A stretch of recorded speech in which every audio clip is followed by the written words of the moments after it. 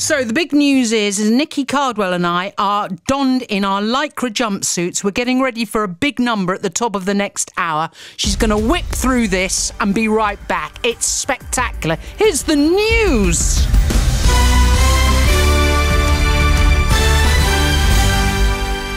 BBC News at seven o'clock. This is Nikki Cardwell. A man staying at the Manston Migrant Processing Centre in Kent has died. He became ill while at the detention site and was taken to hospital, but died this morning. The Home Office said there was no evidence that the man had died of an infectious disease and that it took the safety of those in its care extremely seriously. The site has been criticised for overcrowding and there have been reports of diphtheria spreading there. Less than 24 hours before the World Cup kicks off, the president of FIFA has accused Western nations of hypocrisy for criticising Qatar's human rights record. Gianni Infantino said European nations should be apologising for the past acts that they've committed.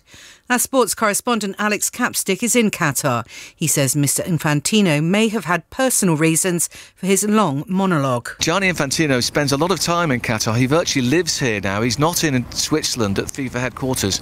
He's been here over the past year at least, so he's got very close to the Qatar organisers. So he is defending, I guess, people who have become his friends. The head of a Rochdale housing association, which rented a flat to the family of a two year old boy who died from an exposure to mould, has been sacked.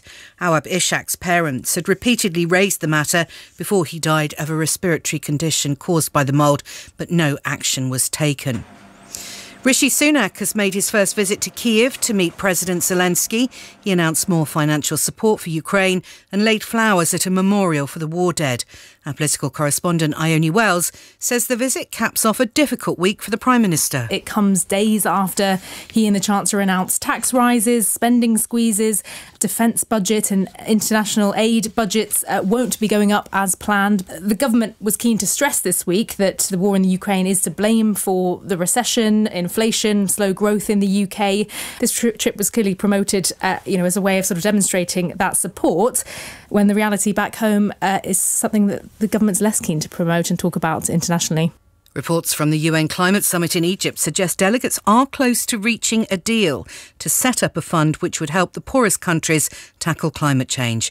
There's still thought to be a disagreement about who should pay into the loss and damage fund. But Matthew Samuda, who's a Jamaican politician representing his country at COP, says it's badly needed. The climate has already changed.